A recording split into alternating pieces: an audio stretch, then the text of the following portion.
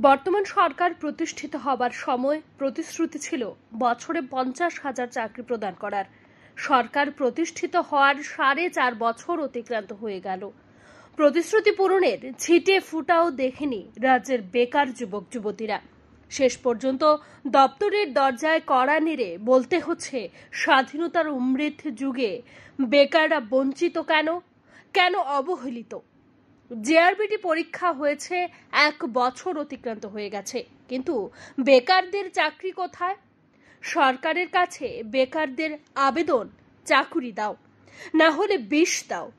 এমনটাই হতাশজনক চিত্র ফুটে উঠেছে শুক্রবার জেআরবিটি অফিসে। সরকারি দফতরগুলিতে শূন্য পদ পূরণ করার জন্য এক বছর আগে জেআরবিটির মাধ্যমে লিখিত পরীক্ষা হয়।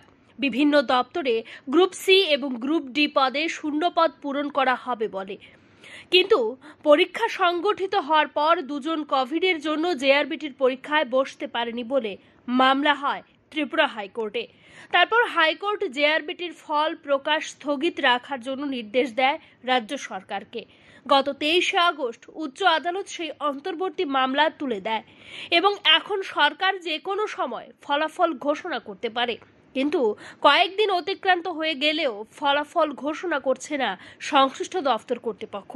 তাই এদিন বেকার যুবক, যুবতীরা দপ্তর অফিসে গিয়ে বিক্ষোভ দেখায়। তাদের আরও অভিযোগ, কিছুদিন পরপর দপ্তরের চেয়ারম্যানের দ্বারস্থ হলেও ঘুম ভাঙছে না তাদের। এই পরীক্ষায় এক লক্ষ একুশ হাজার চাকুরি প্রত্যাশী যুবক, যুবতীরা অংশগ্রহণ করে।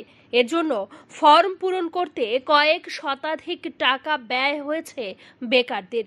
সুতরাং কোটি কোটি টাকা কামাই করা হয়েছে এই পরীক্ষার নাম করে। এখন ফলাফল প্রকাশ করছে না সংশ্লিষ্ট দফতর।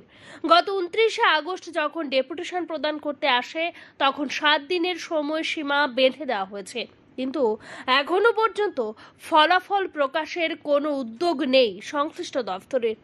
দপ্তরের এ ধরনের ভূমিকা চরম হতাশায় ভুগছে বেকার যুবক যুবতীরা বেকার যুবক যুবতীরা জানান, পুলিশ দিয়ে তাদের আন্দোলন রুখে দেওয়ার চেষ্টা করা হচ্ছে। তাই পুলিশের কাছে দাবি জানানো হচ্ছে, বেকার মুখ নিয়ে তারা বাড়ি ফিরতে পারছে না। তাই লাঠি পেটা না করে মাথায় গুলি করে মারার জন্য বলল হতাশাগ্রস্ত এক বেকার যুবক। তাদের আর কিছু করার নেই। একটা আপনারা ডেট বলতে পারে না আজকে এক বছর হয়ে গেছে। তারা একটা ডেট বলতে ব্যর্থ।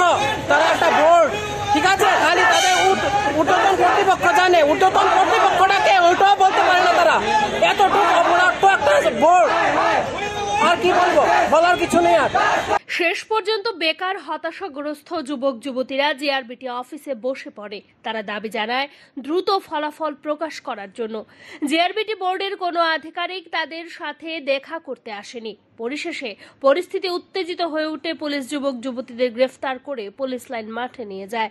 বেকার যুবক, যুবতীদের বক্তব্য জেআরবিটি বোর্ড একটা অপদার্থ বোর্ড। দীর্ঘ এক বছরের অধিক সময় অতিক্রান্ত হয়ে গেলেও ফলাফল প্রকাশ করতে পারেনি। এ ধরনের ব্যর্থতার পরিচয় হয়তো ভূ ভারতে নজিরবিহীন। শান্তন টিভি